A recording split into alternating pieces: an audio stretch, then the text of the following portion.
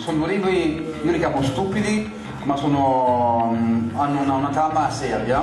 Poi io racconto di stupidità con molte ironie e molto umorismo, perché è quello che mia, mia mamma mi ha passato, l'umorismo, e quindi parlo anche di cancro, di droga, di cose insomma un po' pesanti, ma sempre con umorismo, perché è così che si affrontano le cose, se no eh, ti puoi sparare in testa tranquillamente. Una volta, penso che sia 1985, a Voghera, mm, ci sto al bar Bandiola, eravamo lì che stiamo insomma parlando così, mm, il mio amico si chiama Limpido, perché è una persona precisa. Si chiama Limpido? Limpido, Limpido. preciso, pulito, Ok. ma non dice mai una bugia, Sì. disse ai tempi non c'erano i cellulari, c'erano le cabine telefoniche, Certo. dice vado a chiamare la mia bella. Quindi partì dal bar, con preso uno zaino di gettoni e andò nella cabina del Ponte Rosso. Sì. Era praticamente il 12 di agosto, quindi 45 gradi, erano le 2 di pomeriggio.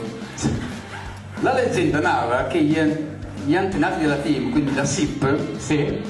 telefonavano ai vigili per dirgli che la cabina era occupata da 8 ore.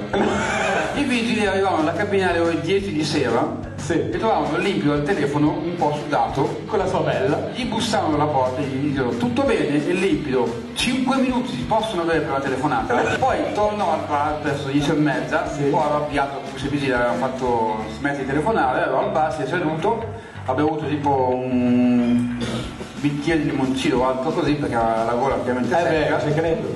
E lui mi ha detto, limpido, quindi com'è andata? Non ci siamo capiti, adesso riprovo.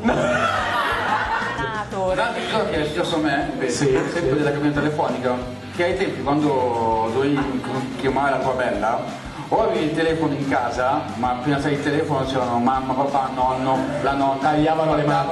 e quindi tu parlavi in monosilabo, sì, ok, Ok. ciao. Andavi alla cabina telefonica.